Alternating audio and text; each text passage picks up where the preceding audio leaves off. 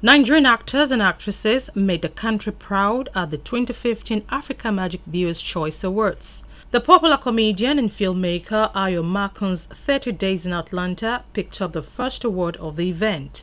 30 Days in Atlanta was named the best film in a comedy category. I'm a stand-up comedian for, for uh, Metro Vision. And I work, I work for my money. So you worked? Yes, I work. You violated your visa. We broke the law. I don't break law. My daughter break. Kunle Afolayan was crowned the best director for his movie October 1st. Kunle also picked up the overall best movie prize for the year 2014. Uh, uh, Koya.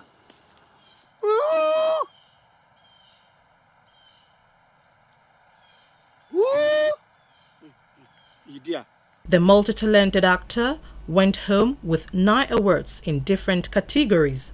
Rita Dominic was named the Best Actress in the Comedy category for her role in the movie The Meeting, while OC Ukeje clinched the Best Actor prize for his performance in the movie Secret Room. Meanwhile, Nigerian reggae and dancehall act Patoranking has been named the MTV-based artist of the month of March 2015.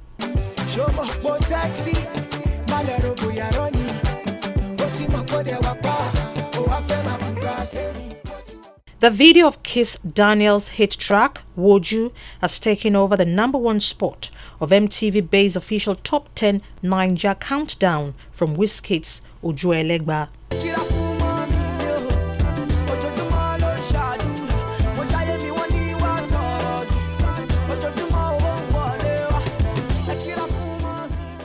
Now to the foreign scene.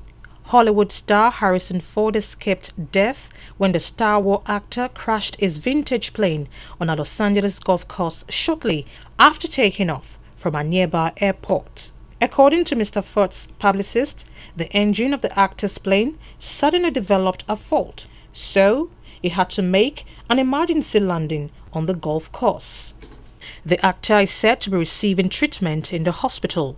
An investigation team has been set up by the U.S. National Transportation Safety Board to determine the cause of the crash. The co-creator and producer of the cartoon The Simpsons, Sam Simon, has passed on.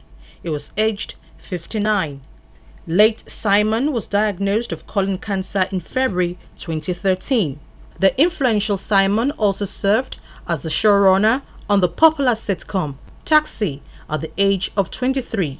He wrote and produced several comedies. Late Simon, until his death, was a nine-time Emmy Award-winning comedy writer. While alive, he worked on several episodes of the cartoon The Simpsons.